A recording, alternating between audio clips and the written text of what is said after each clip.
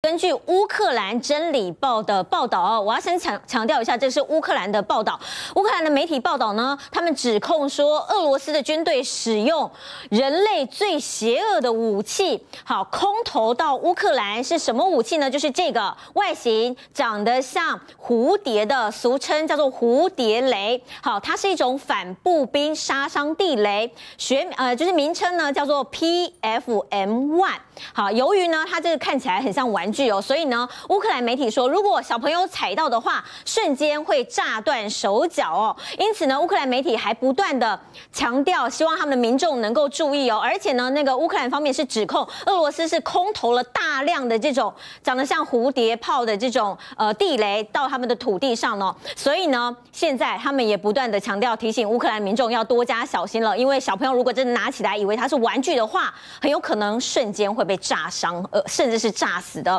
好，另外呢，关于乌克兰，呃，俄罗斯下一步到底会如何做呢？现在英国的国安分析师他认为了，他说呢，现在乌克兰俄罗斯的军队已经改变了策略了，他们现在俄军要把入侵的行动转变成一场城市的战争哦，而且呢，根据这个英国的国安分析师他认为哦，未来俄罗斯的军队将会以更缓慢的速度，携带更猛烈的炮火进入乌克兰各大城市哦，因为呢，他们说原本俄罗斯呢是希望预计七十二个小时之内能够完整的控制乌克兰的整个局面，但目前看起来没有办法全面控制，所以他们推断俄军已经改变改变了作战计划，因此决定回归原本俄罗斯他们最熟悉的方式，采取这种缓慢速度，采用重型火炮进攻每一个城市。